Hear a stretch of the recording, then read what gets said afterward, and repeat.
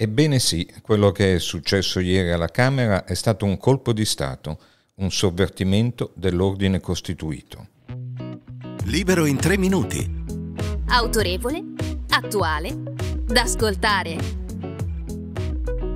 Un colpo di Stato, dicevo, se con ciò intendiamo la melassa politica e culturale che ha avvolto l'Italia nell'ultimo decennio e che la sinistra, non avendo la forza di imporre la propria visione, si augurava potesse continuare all'infinito. Dopo aver ascoltato il discorso con cui Giorgia Meloni ha chiesto la fiducia alla Camera, possiamo dire che abbiamo dopo anni cupi un governo, capace o no lo vedremo, con una identità chiara e un programma preciso che va oltre scadenze e contingenze. Un governo di destra? Beh, certo sì, ma di una destra moderna, repubblicana, occidentale ed europeista, tutte parole che da ieri escono dal limbo della retorica e iniziano a prendere forme e contenuti. Funzionerà? Ma Giorgia Meloni lo ha detto chiaro al termine del suo intervento. Due punti aperte virgolette a volte falliremo, ma non indietreggeremo e non tradiremo, chiusi virgolette, che poi la continuazione dello slogan rubato a Tolkien, con cui chiuse la campagna elettorale in Piazza del Popolo a Roma che recitava Verrà il giorno della sconfitta, ma non è questo.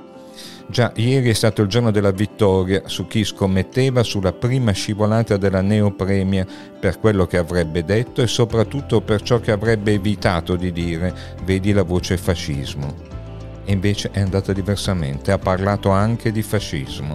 Stolti e illusi non hanno letto Oscar Wilde, che diceva date alle donne occasioni adeguate ed esse saranno capaci di tutto. Chiuse virgolette. Già, anche di dire, durante una pausa del discorso più importante della sua vita all'orecchio di Salvini che le sedeva accanto, oh, sto a morì, provata dalla tensione e quasi infastidita dai continui applausi che le facevano perdere tempo e filo.